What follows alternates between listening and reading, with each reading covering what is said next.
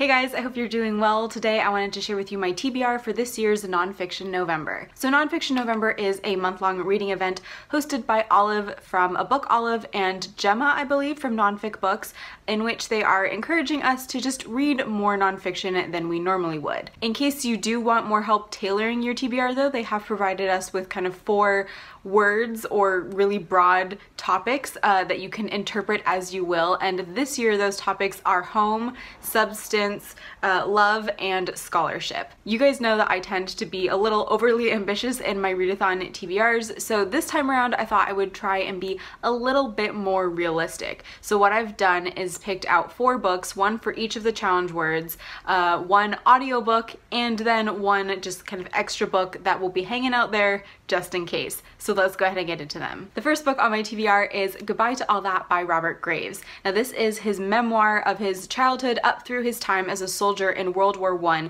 and I wanted to use this one for the home challenge specifically because of this line on the back cover.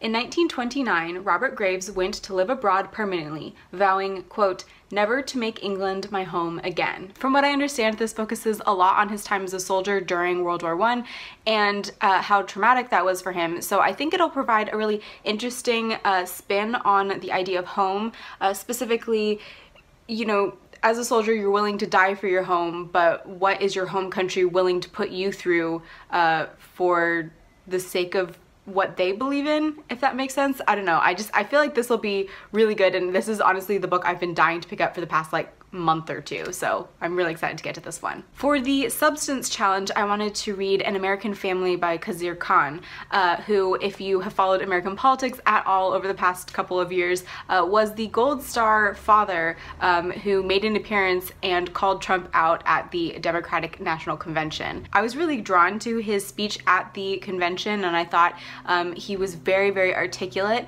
uh, but I was even more drawn to him after watching several interviews with him and he was recently recently on the Daily Show with Trevor Noah and he just seems like such an interesting man and like he has such a level-headed uh, way of talking about what he's gone through in his life so I'm really looking forward to getting to this this is I believe a memoir of his journey um, immigrating to the United States, raising his kids here, and ultimately losing his son um, during our current entanglement in the Middle East. For the love challenge, I thought I would go ahead and finish Are You My Mother, a comic drama by Alison Bechdel. Now this is her second uh, graphic uh, memoir, I guess. Uh, her first Fun Home focused on her relationship with her father, and this one focuses on her relationship with her mother. I started this one way back in July during the booktubeathon, so I would really like to wrap it up this month.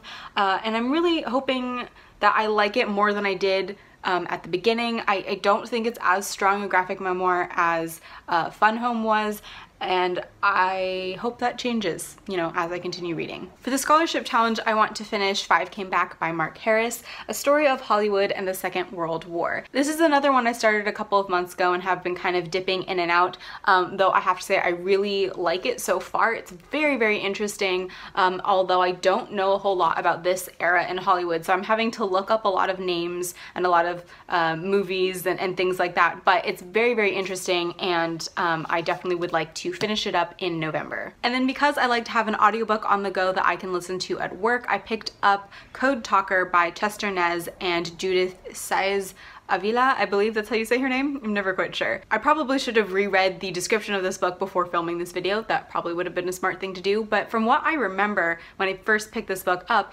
it is a memoir of Chester Nez, who was one of the uh, Native American soldiers who during World War II uh, helped with coding messages uh, for the US military. Not only is that something that I know practically nothing about, but because I'm on this kind of military history kick at the moment, it sounds like the perfect audiobook for this moment in time and I'm really looking forward to getting to that one. And finally, if I have time for one more book in the month of November, uh, I would love to get to What Happened by Hillary Rodham Clinton. Now my uncle sent this to me for my birthday back in September, so it's kind of just been sitting on my shelf staring at me for the past couple of months and I would love to finally get to it. I would really like to know what happened in her own words and I think it will be interesting to read exactly one year uh, from the date of the election that went so horribly wrong. So those are the books that I'm hoping to get to you this November, and if you guys have read any of them and would like to uh, preemptively share some thoughts with me, feel free to do so down in the comments below. But I would also like to know if you are participating this November, what's the one book on your TBR that you're really, really excited about? For me, I think it has to be Goodbye to All That. I want to give a huge shout out to my patrons like Amanda Howell for making videos like this possible, and I want to thank you guys for watching. So uh, happy reading, good luck with Nonfiction November, and I will see you next time. Bye! And can we just say that it's like ridiculous that it's November and I'm still wearing a tank top? I mean, I know I live in California, but still, this is a little ridiculous even for us.